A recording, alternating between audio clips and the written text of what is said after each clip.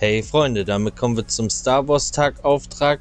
Blocke mit einem Lichtschwert Angriffe. Insgesamt müssen wir da 10 Angriffe blocken. Das Schwierige an dieser Aufgabe ist einfach nur ein Lichtschwert zu finden. Das könnt ihr, wie in diesem Fall jetzt hier, über Bodenloot oder aber auch über Kisten finden.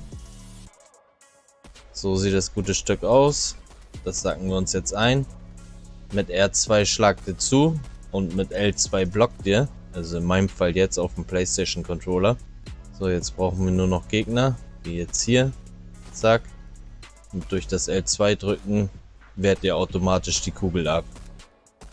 Das Ganze könnt ihr natürlich jetzt hier an normalen Gegnern machen, aber auch an IO-Truppen.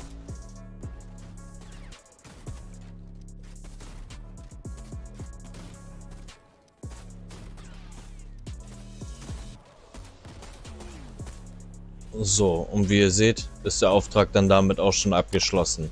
Wenn ich euch damit weiterhelfen konnte, lasst mir gerne ein Like und ein Abo da und bis dahin sehen wir uns zum nächsten Clip. Ciao!